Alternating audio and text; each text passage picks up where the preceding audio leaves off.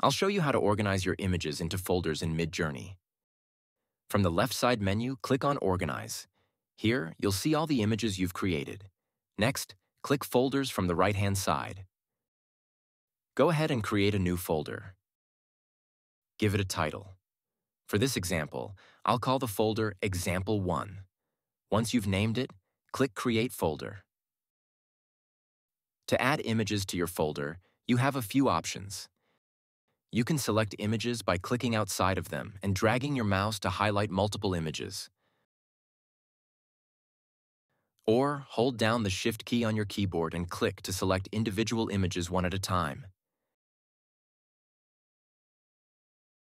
You can also select all images created on a specific day.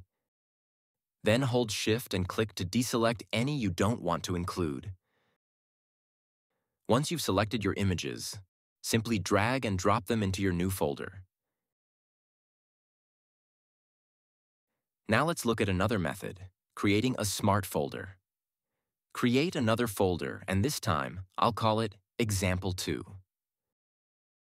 Select Smart Folder. Before creating it, notice what it says in the description. You can't manually add or remove images from smart folders. To create a smart folder, you'll need to add at least one search term to define which images it includes. I know I've recently created images of a kitten, so I'll make this folder about kittens. I'll type kitten into the search terms and hit Create Folder.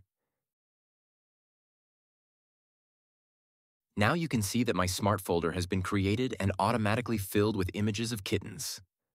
Smart folders are easy to identify. They have a small icon next to their name, making them distinct from regular folders. Like and subscribe for more tutorials. Thanks for watching.